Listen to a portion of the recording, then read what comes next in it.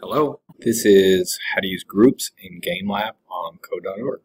So from the dashboard, you'll want to click Create in GameLab to get a new empty project. And you'll notice we have these, these colorful drawers in the toolbox, and one of them is called Groups. There are a lot of cool things in groups, but we can't use any of them until we have some things to put into the group. So the first thing I'm going to do is make three sprites. So I've clicked over here on sprites, and I'm just going to grab three of them and I'm going to call them red, green, and blue.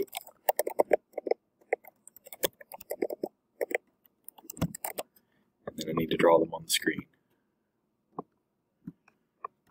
Okay, so they're all in the same position, the same X and Y position. So I'm going to make this first one at 100, leave the second one at 200, and move the, the third one to 300 so that we can see all three of them.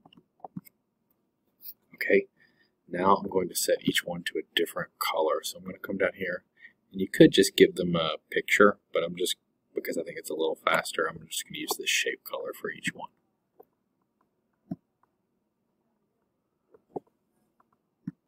Alright, so for the red one, I'm going to give it the color to equal red in quotation marks. Green is going to be green in quotation marks. Blue is going to be blue quotation marks like that, so we should be able to see the difference between them. Okay, now that we have them, let's go back to groups, which is kind of the point. And at the very top, there's a var group. So let's make a group and let's call it, you know what, this first time, let's just call it group. And now the second block says group add. So what I'm going to do is I'm going to say group add red. Gotta spell it right.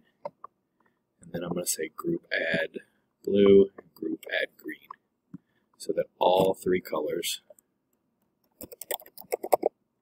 will be in the group like that.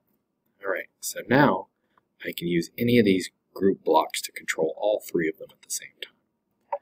So why don't we just do uh, group point to and then some location. So why don't we just point to wherever our mouse is. So in the X blank I'll put world mouse X, and in the Y blank I'll put world mouse Y, that should, that should make all three of the elements of the group follow my mouse. You can see we're getting a bit of overlap, so let's just add in a background. And you should be able to see that all three of them are following the cursor. That's how you do it.